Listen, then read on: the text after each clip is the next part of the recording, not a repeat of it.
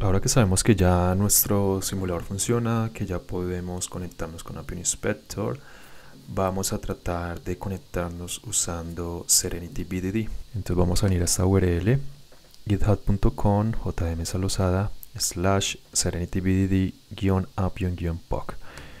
Le vamos a dar clic en este botón y le vamos a dar clic acá. Vamos a salir una consola y vamos a clonar el proyecto. Descargado el proyecto, simplemente vamos a la carpeta de descarga. Acá podemos ver nuestro proyecto.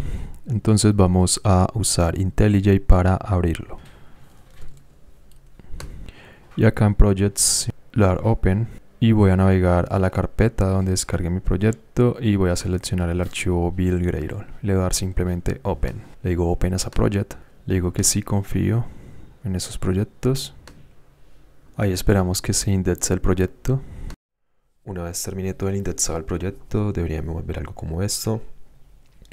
La estructura de carpetas un proyecto eh, en Java para Gradle. ¿Listo? Vamos a ubicarnos en, la, en el siguiente archivo, que es en este serenity.properties. Aquí hay una configuración previa para lo que es Android.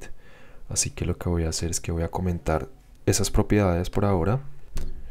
Y vamos a agregar aquí otra sección que se llame iOS Capabilities. Vamos a comentar esto. Y aquí vamos a comenzar a cambiar las propiedades, ¿no? Entonces el automation name, en este caso sería CUI test, platform name, iOS, la versión de nuestro simulador, la 16.1, el nombre y en Appium App vamos a poner eh, vamos a poner el bundle identifier de nuestro integration app, que es lo que estamos automatizando. Con estas configuraciones ya estaremos listos para poder correr nuestros tests.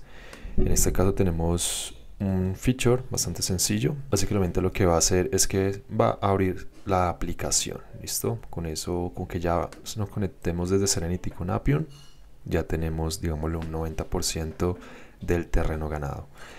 Y ahora simplemente vamos a abrir una consola y vamos a ejecutar el comando gradle w clean test.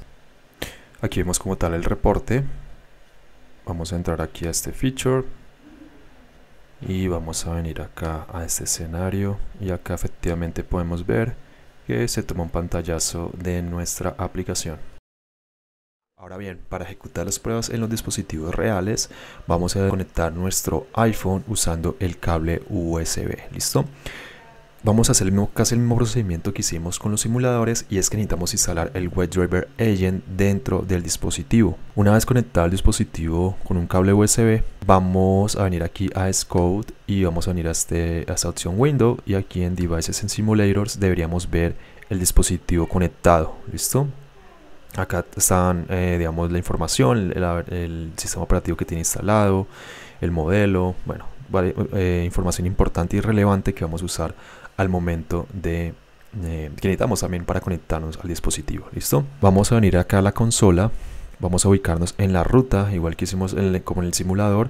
Applications, Appium Server eh, UI, Contents, Resources, Add, add Node Modules, Appium Node Modules, Appium SCUI Test, Driver Node Modules y el Appium WebDriver Agent. Y aquí vamos a ejecutar el siguiente comando, scode build menos project, WebDriver agent, scope prod, es menos skin, WebDriver agent, el destination. Aquí el ID es súper importante porque es el ID del dispositivo real. Simplemente venimos acá a nuestro dispositivo, le damos clic derecho y le damos copy identifier.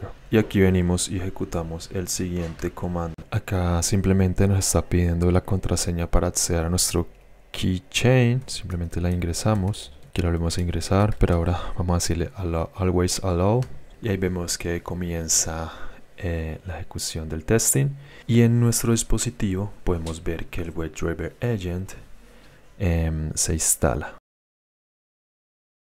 Ahora bien, vamos a revisar en nuestro dispositivo a ver qué, pasó. Vamos a ir a Settings, General, vamos a ir aquí a VPN, VPN en Device Management y acá en Apple Developer, dice que no confía simplemente le vamos a decir trust Apple Development y la persona. Le decimos trust. Y volvemos a ejecutar el comando.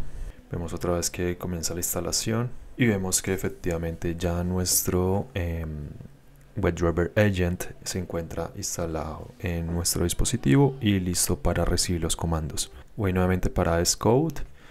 Aquí voy a seleccionar la aquí voy a seleccionar la aplicación Integration App, pero el target en este caso va a ser mi celular real. ¿Listo?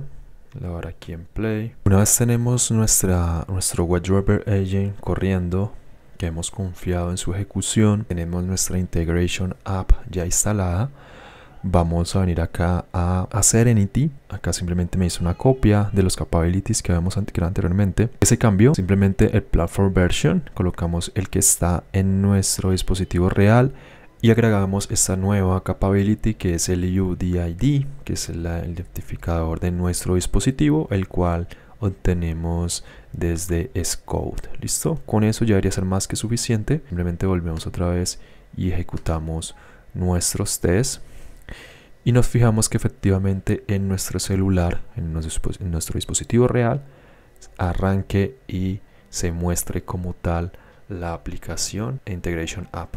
Y ahí vemos que en nuestro celular la aplicación se abre y que nuestro test es satisfactorio en la ejecución en nuestro IDE IntelliJ.